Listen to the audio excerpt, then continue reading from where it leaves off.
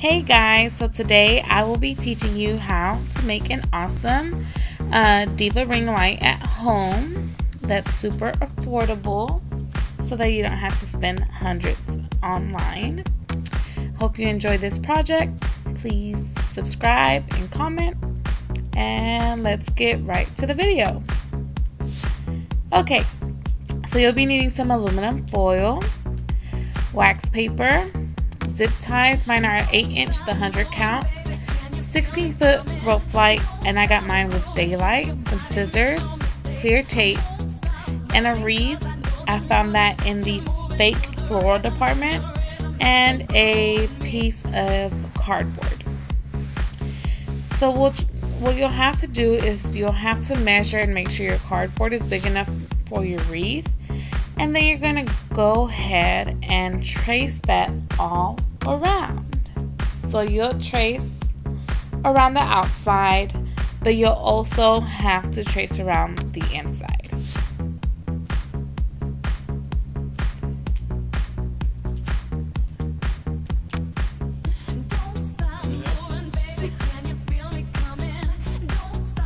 So once you have your wreath trace, you're gonna have to cut that out. This was the hardest part for me to do.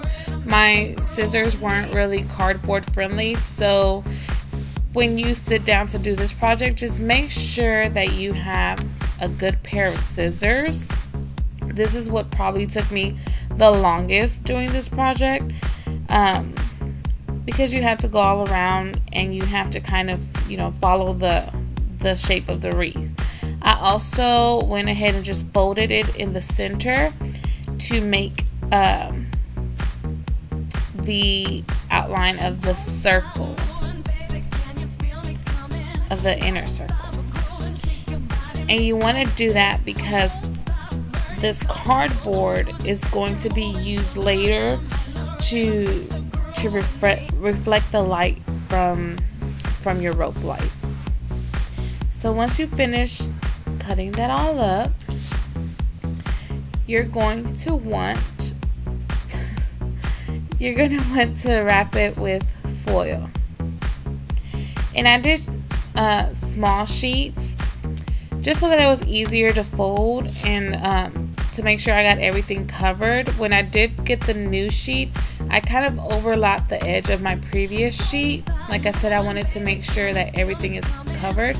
And the purpose of the foil is so that these the rope light can reflect and bounce back to you, which is the whole purpose of the ring light. So you just want to go ahead and wrap it all around. What I did do um, after I finished wrapping it, I went back over some places that I thought were kind of loose or if I saw that there was maybe a patch of cardboard, I went and took smaller pieces, as you can see here, and just kind of rewrapped it. I just wanted to be sure it was all in place.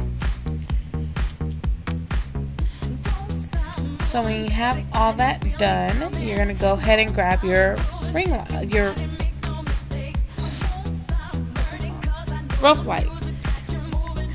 And then um, you're going to want to start with the not the end that you are um, plugging in because there's two ends and they look very similar make sure you are not grabbing the end that you plug in. So grab the other end and start with that one. You want to make sure that the wreath um, that the edges that are sticking out are pointing towards you. That way the light is really bouncing towards you and not away from you. So make sure that those edges are pointing upward and that you're laying the light on top of that. I started on the outer line of the wreath. So I just zip tied the light to the outer wire.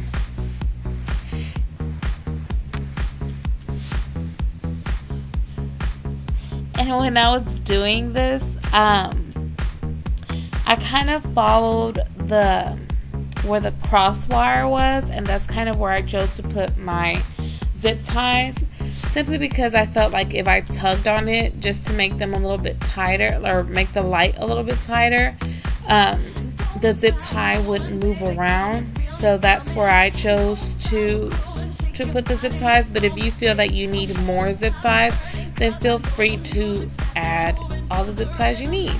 That's why I got the hun- the 100 pack. I'd rather be safe than sorry.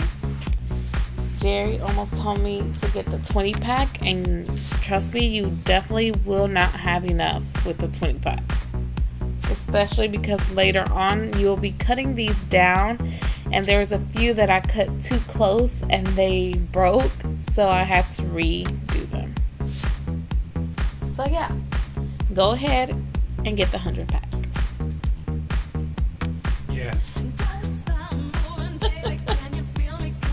That's Jerry, y'all. 100. You're messing with my video.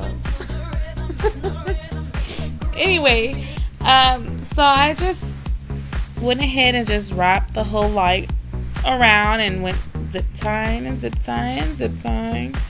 Um, I kind of just really followed the wires. So when I made it back to where I started, I just went ahead and went on to the next wire. Um,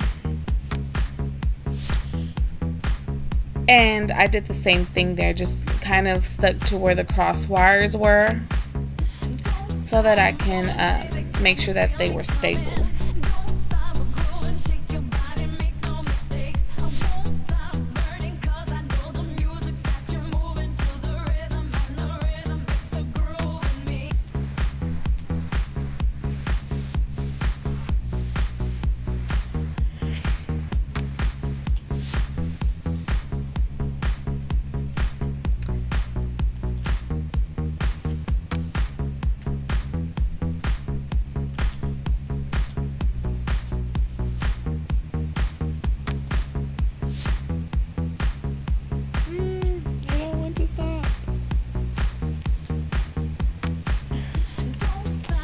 Okay, so now that I'm getting more towards the end, you'll see that I uh, leave a piece that has not been zip tied. And the reason I did that is so that I wouldn't have to add a longer extension cord.